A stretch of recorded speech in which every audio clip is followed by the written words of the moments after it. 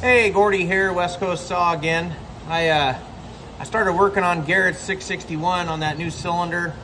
Started porting it up and I was thinking I'd do a little uh, basic video, um, kind of show you guys like a couple tips on uh, porting if you want to hear that. Just basic work saw porting. This is not any kind of race saw application and um, there is obviously a thousand ways to build one of these saws. The two-stroke engine is super cool and that's what makes it so intriguing that everybody's got their own way of doing it and they all run different and you could tell somebody your numbers and everything and they could run your numbers and the thing runs completely different than the saw that you built. So it's just kind of cool how the little two-stroke is it's just a, an air pump is the way I look at it and um, we're just changing basically it's like it's like a camshaft in a V8. It just you're changing the duration, the time that the intake's open. Um, exhaust is getting wider or higher, which is changing RPM ranges and torque. So a lot goes into these little things, and I don't want to get super, you know, carried away with it. But I will like explain to you what my view is on just a little work saw build that's kind of cool. Um, if you're interested in doing a little bit of stuff on your own saw, it's kind of handy to know these little basic things. And necessarily you don't have to get super crazy to make it run a lot better. So let me flip the camera around here and I'll kind of show you what I got here. So this is my my porting bench. Um, it's pretty basic. I got an old vise and I pretty much just cinch the old cylinder down in there and I have two Foredoms and I only have two because I accidentally had one kind of jam up and I didn't have time to fix it so I bought another one. And I ended up with two and then those are ran off of a foot pedal. And they're super handy because you can change different different heads on them and so forth. So like this one I have a quarter inch bit in. This is an eighth inch so if you're, you know, getting more advanced, you can get the right angles or your polishing one. And then I got this little guy here. It's like a little tiny dental one for chamfering edges. So, you know, things aren't sharp and so forth. But yeah, it's, uh, see if I can show you here. Just run that pedal.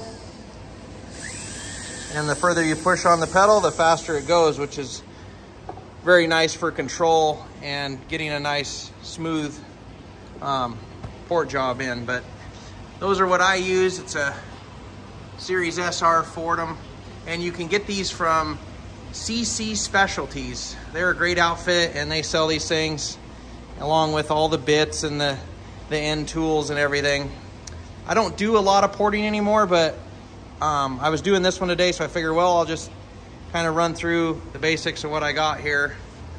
And uh, this is some other stuff I got, little bits and crap that I've tried over the years. I kind of use these for polishing.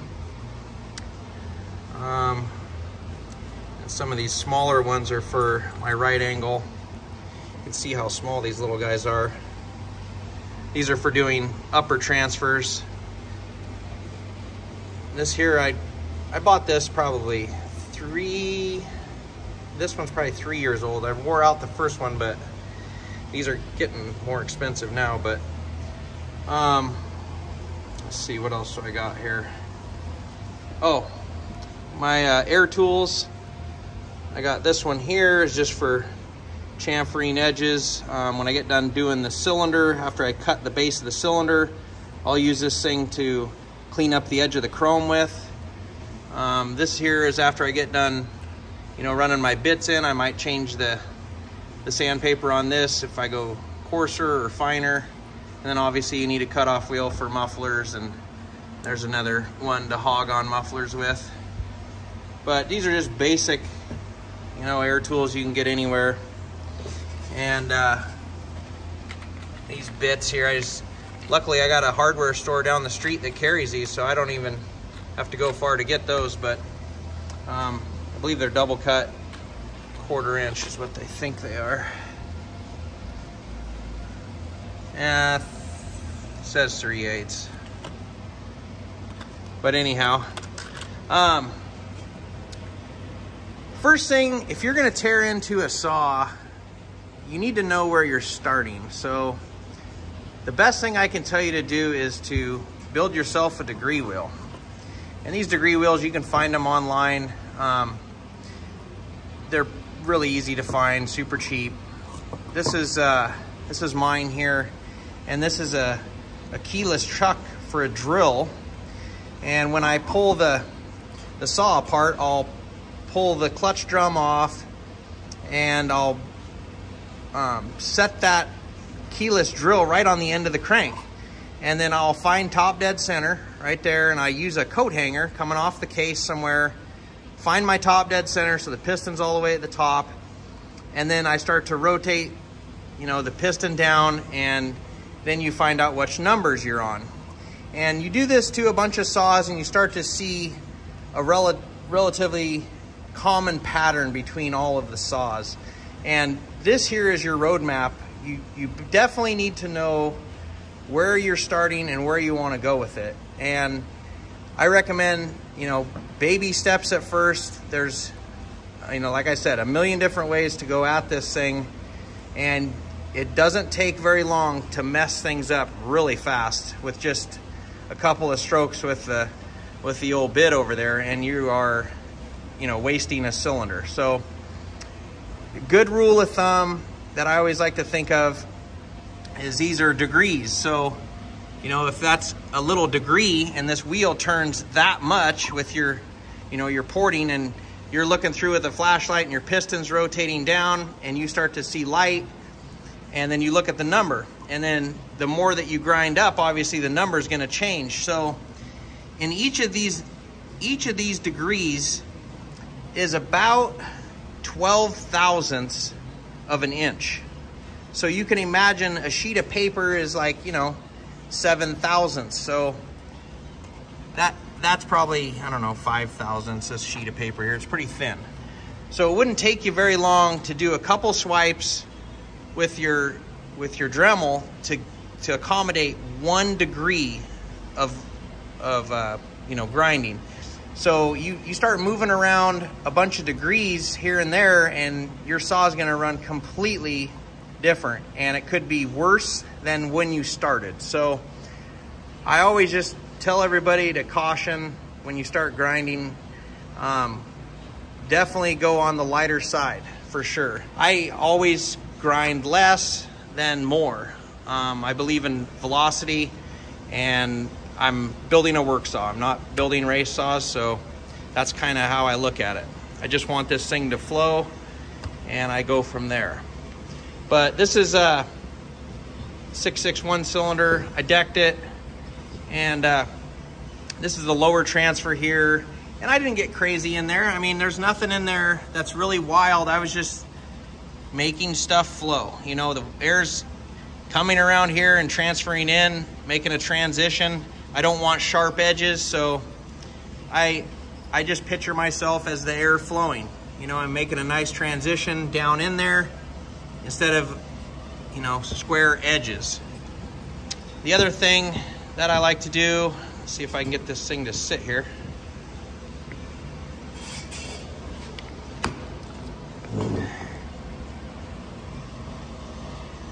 And there's my exhaust port so my exhaust ports, they look relatively factory. I, uh, I keep my exhaust ports with a half moon in them. Um, they are not flat. They, they definitely have an arch to them, and there's a reason for that. It's because of ring life. Um, if you're building a work saw and you want to get longevity out of it, and you don't want to hang a ring, the best thing you can do is make that top round like that. So when that, when that ring comes up in there,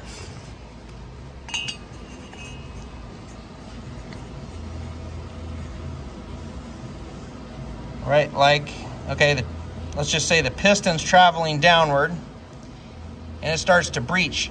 It's starting to breach right there and that ring's still held in by the sides. And it's not just opening up all at once. So the ring has a tendency to stay against that piston. And then as it opens, it's opening in the center. And as it comes down, it's getting wider. That is the shapes that I try to stay to. And how I get there is I'll take a piston, you know, a junker or a new one, and I will have, you know, the piston there, and I'll shove it up in the cylinder. See if I can do this again.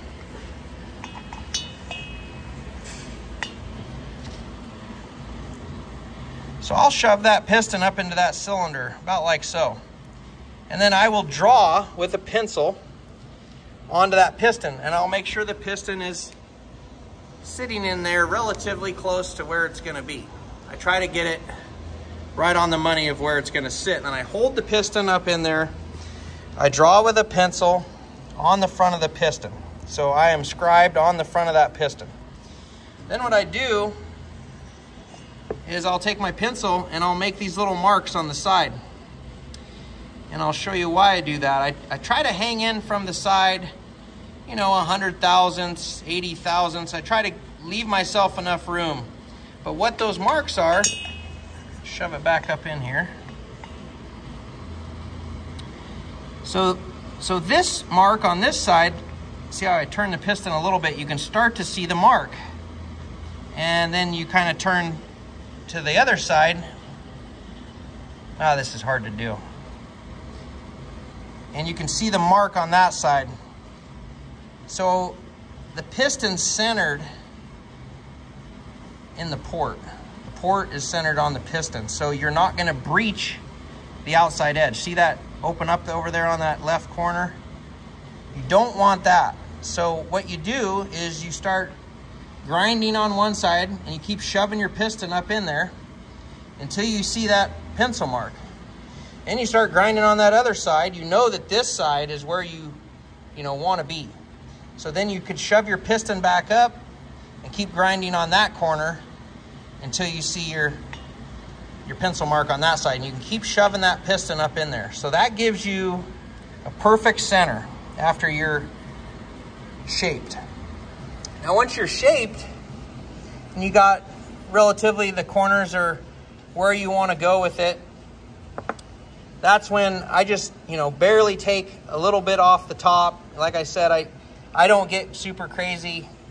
The, the factory saw is, you know, pretty darn close to where you want to be. You might change it a couple degrees, but but that's with a lot of machining and stuff. If you don't have any machining capabilities, then you're kind of you're playing with fire going up on the exhaust ports. I would recommend not going up if you're uh, not a machinist and you don't have capabilities of machining the bottom of, of these jugs or changing pistons or what.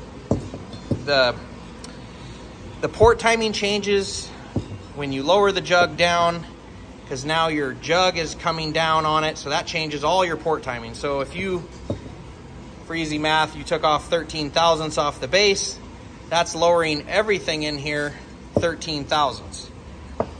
So with that being said, your intake is gonna go down, which you know will open earlier, which isn't a bad thing, but your exhaust port's going down. So you can counteract it by going back up. If you were to deck the cylinder, um, like if you're you know, just taking 13 thousandths off or whatever, you could go back up 13 thousandths and be back to your port number where you started.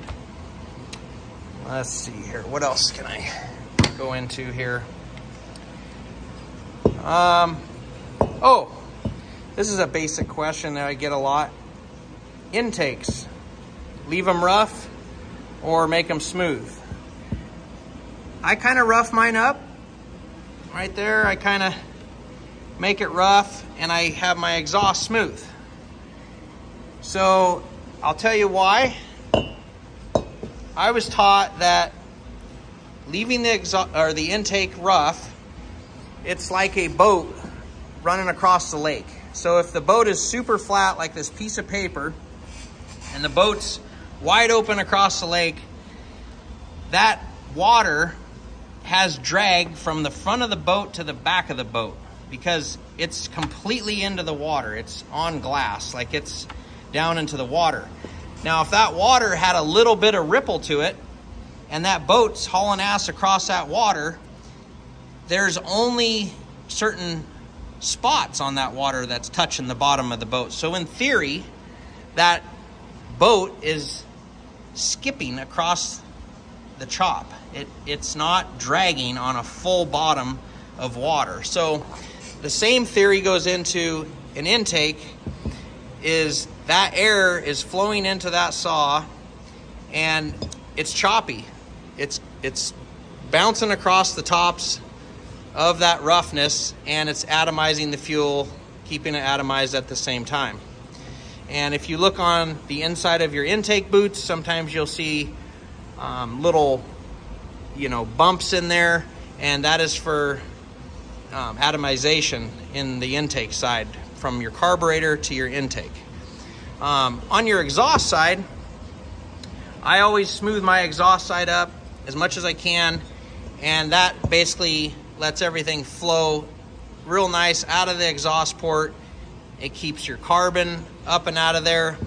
And you know, it's just, it's very appealing to look at a nice clean exhaust port. All your edges are nice. Get the light on it here. Sorry guys, it's hard to hold the light and everything.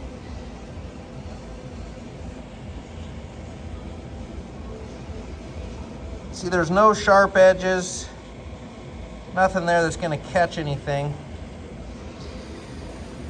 You wanna make sure everything is clean on these edges. You know, you don't want any kind of burrs or anything that's gonna catch. Intake side too, I'll take my little my little dental tool that I got and I run it all around here to make sure nothing's gonna grab. But that is kind of a, a basic explanation of just clean up porting. It's just basically blueprinting what you got and cleaning up the castings. And that's what it could look like. And with the muffler mod and an intake, some air filter mods, the, the saws love it. They like to run. Um, and when they have these little castings and the intake, you know, is blocked off and stuff, they, they just don't get no air. So it's just it's just basic two-stroke porting. There's no big magic to do when you're just building a work saw. I mean, you can get pretty wild. I've built a lot of stuff that's on the edge, but uh, I think you got to take it to the edge to know that sometimes it's not worth it to go to the edge. Sometimes it's better just to stay more on the milder side. The, the saws seem to run really well. So hope that um, kind of explains a little bit of work saw porting and whatnot. There's there's like a ton of stuff we could go on about. Like there is all kinds of blowdown numbers and exhaust numbers and intake and you know transfer ports and doing different things in there. Um, finger porting, piston mods, like it, it just goes on and on and on. So we'll, we'll keep diving into this little by little. Um, but yeah, I just wanted to show you that, and that's kind of just a basic build right there. Just deck the cylinder. I widened out the exhaust. I raised the exhaust on this saw probably about two degrees, but I did do some, uh, you know, decking of the cylinder. So I think this saw is sitting at like 97, 98. I haven't put it on the wheel yet, but it's somewhere in there. Nothing crazy. Just a basic work saw made to pull a 36 to 42 inch bar. And uh, longevity wise, with what I'm explaining on the top of the exhaust port and the curvature, makes ring life last longer. So, so I keep wanting to throw more and more in because there's just so much to talk about. But one thing, if you're gonna port a saw, always pay attention to where the ring gap is. This is a 661 and you can see where I got that mark right there, it's coming really close to that ring gap. See that, that ring pin right there? You don't want to go super wide on that ring pin side on a 661 and you know the other upper ring is in the back on the intake side so there's no worries because the ring is solid all the way around but that one meeting in the front is a danger zone so whenever you're porting always look at the ring gaps and make note of where they're at because you could be you know hogging that port wider thinking you're doing great and when that saw starts to run that ring will just pop right out and she's done. So just wanted to say that. I know I didn't want to get too deep into this, but always look where your ring gaps are. And uh, that those are pretty much the basics of just just making a, a good running saw. And uh, there's a lot to elaborate on all these little discussions. And I'm sure you guys got lots of questions, but hope that helps you guys out if you wanted to mess around with your own stuff a little bit. But just be careful when you're doing it. You could uh, mess her up real bad, real fast. So just baby steps. Alrighty, well, see you on the next video.